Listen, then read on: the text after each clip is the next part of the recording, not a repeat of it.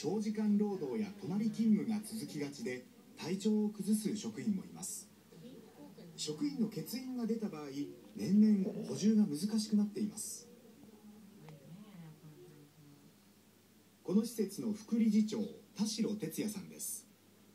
職員自身がどんなストレスを抱えているか理解できていないことが問題だと考えました。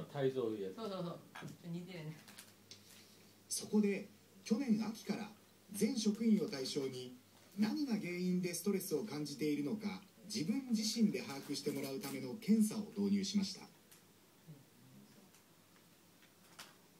100の質問に答えて仕事の内容や業務量職場での人間関係などどこに課題があるのかを突き止めま100のす。質問が自分が今どういう精神状態なのか。それウケるそれ。自身が10問ぐらいでいけね分かってもらうウケんね今の。この20検査によって自分のストレスの原因が分かったという職員たち。